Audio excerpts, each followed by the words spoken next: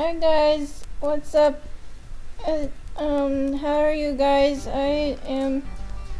I've been okay, but um, today I want to talk about my experiences with seizures and um, what happened lately. Um, and I'll start from like the beginning when I had seizures and now because I do it I'm 20 years old with epilepsy. I want to uh, give you guys more information if you guys or whoever watches this um it one and hoping it helps for you guys because I know there's like a lot of people with epilepsy and I know lately um or not lately but sometimes I think oh I'm only one that had I'm only one that has um, epilepsy um and I get depressed about that. But anyways when I was think my mom says around three or three or going to turn three I had my first seizure and they didn't and they ran ran me to the hospital and the doctors there said I had seizure. So they I think they gave me medicine or something. I don't remember this. I'm just saying what my mom said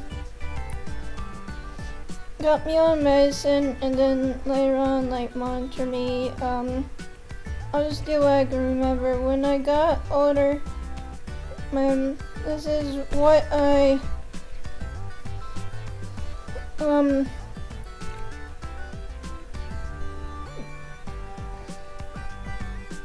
what I remember is when my old house that I lived in, I might Oh, before I get into that, I might seem a little bit nervous because I am.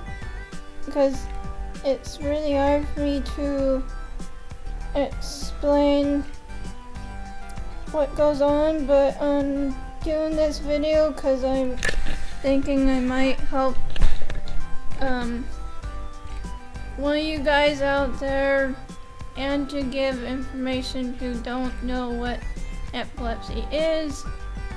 Um, so, you know, so I'm going to talk about my story with it and also um, what to, or at least my idea what to do or how to help a person if they have a seizure because I know a little bit from, well, me having seizures and um, my, my friend had seizures too.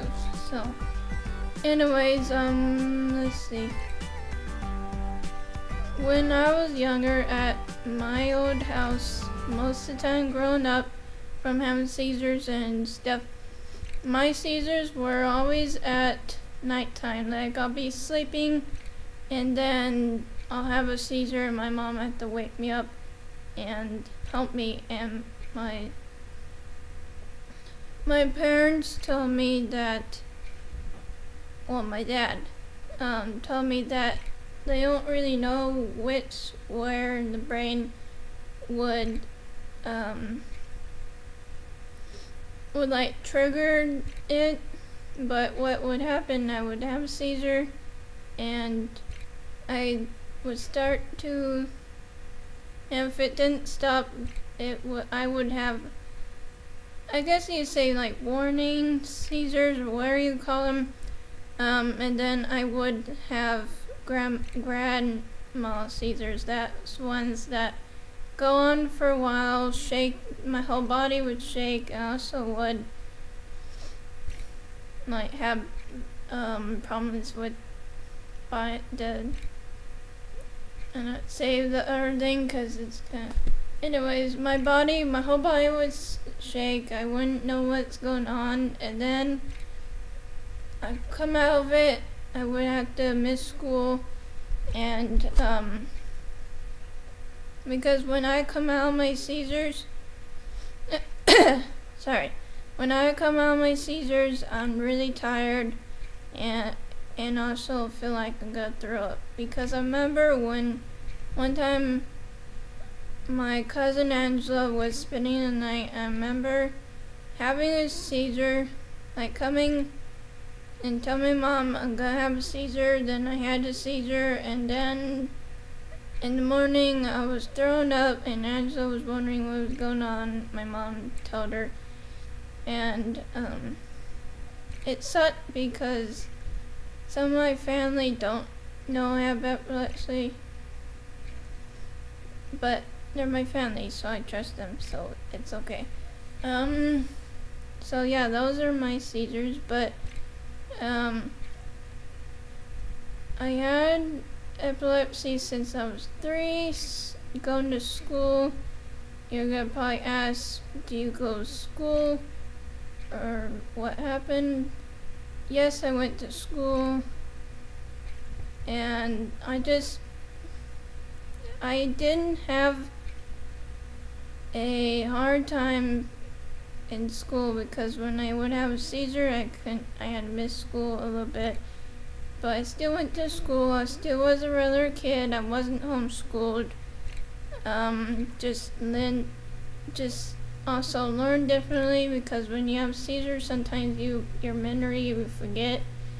Or my mom said my speech. Why I have this speech disorder is from just having dyslexia and having epilepsy because um, after you have a seizure, you can not talk or something like that. It affects your body, your brain, so it affects sometimes can affect and, know my dogs. Anyway, sometimes can affect um,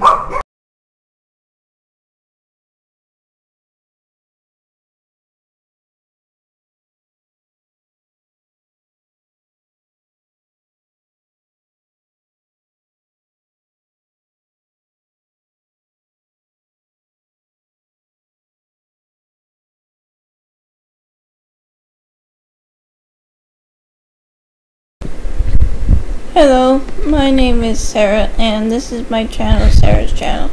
So you're wondering, what does she do? Well, I do reading your comments video. And I do a little bit of music, like this. And I do topics like these change how people see disabled people. I also do blogs, like this old blogs or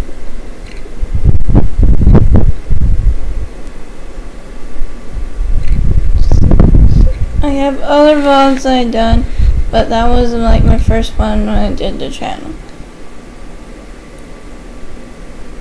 Like I did other ones like VidCon.